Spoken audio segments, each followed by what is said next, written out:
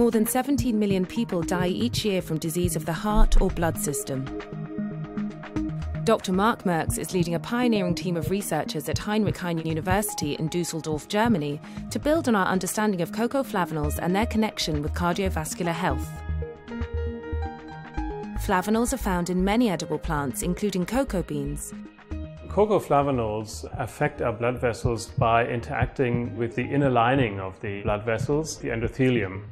Healthy vessels are really important for health in general. The question we wanted to ask in the age study is whether this really applies to people of all ages. The purpose of the health study was whether the beneficial effects of cocoa flavanols would actually hold true for the general population. Both studies found that across several measures, cocoa flavanols improved blood vessel health significantly.